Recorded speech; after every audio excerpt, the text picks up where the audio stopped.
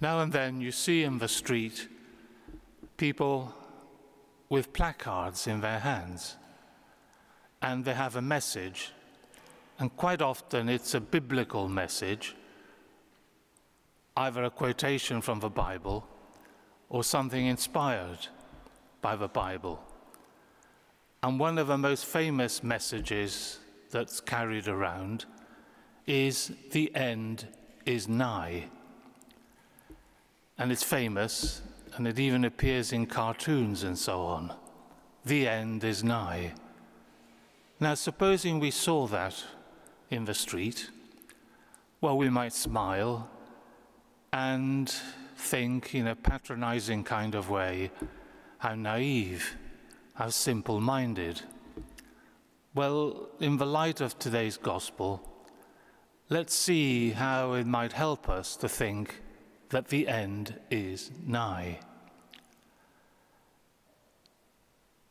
Today's gospel tells us that we must be watchful because the Master, and the word is Lord, which is just sung in Lord have mercy, because the Lord, the Master, is coming back from the wedding feast and we are to be ready. So the end is nigh. The end,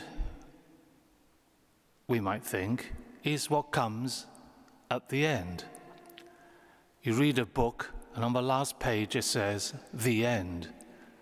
You watch a film, and as it unfolds, up comes the words, The end. Or you're watching a game of some sort, and when the time is up, it's the end.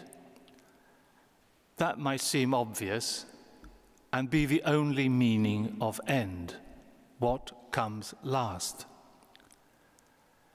Now, today's gospel tells us that the world will end and that Christ will come again this time in glory.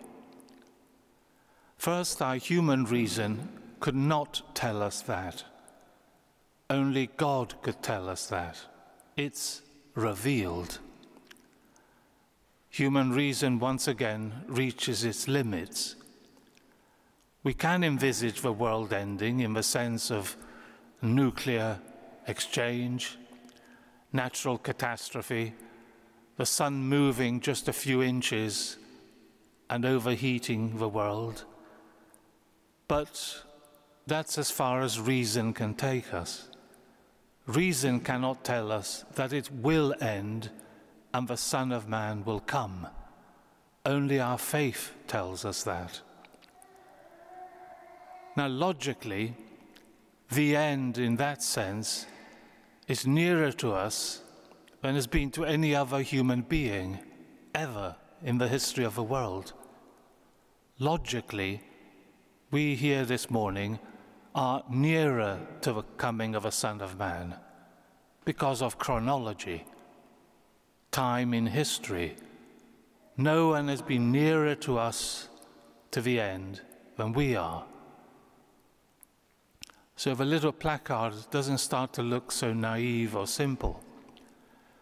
But the end has another meaning.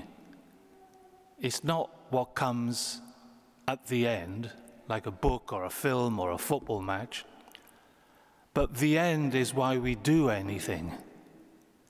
So we say, To what end did she do that? What end has he in mind? Now, we don't mean what comes last. We, in fact, means what comes first. That's our end. Whatever your end in life is, all your decisions, your plans, your hopes are directed towards that from the beginning, because that's your end. So to say that the end is nigh has two meanings. One is that the end is nearer to us than to anybody else has ever been, and it is. The other is that Christ is near us every moment of our life, now, from the beginning, because it's to that end that we live.